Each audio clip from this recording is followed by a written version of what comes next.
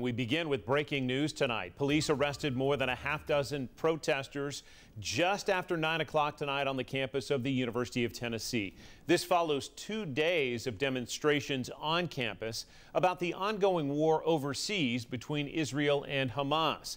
10 News reporter Maria Guzman joining us live once again with an update on those arrests and the scene behind you now. Maria.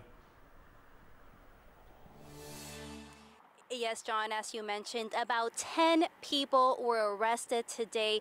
Knoxville police made those they made those arrests and they have placed now a fence surrounding the lawn where students were gathering and sitting. Now, the school did give students a 9.30 p.m. deadline to either leave the lawn or face the consequences. For the students who decided to stay, they were arrested and now they will be charged with a misdemeanor for trespassing. Students gathered here since this morning. The atmosphere was peaceful throughout the day. I saw students reading, studying, and standing in solidarity with the people of Palestine. Students in conversation the students were in conversation with school leaders throughout the day. They met at least twice, and students leaders say they want to remain peaceful. I spoke to a freshman who was born in Palestine and says he showed up for his people and his country. Ultimately, it's my people, and I just want to be here and support it, and you know, hopefully make a change, make a statement that we don't support genocide, and that we want, you know,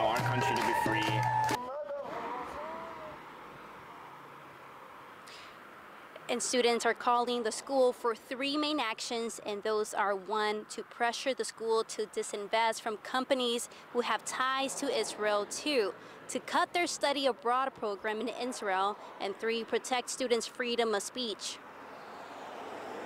There are innocent people dying every day, and they have been for almost the past 75 years, almost every day, and I just don't think that's okay.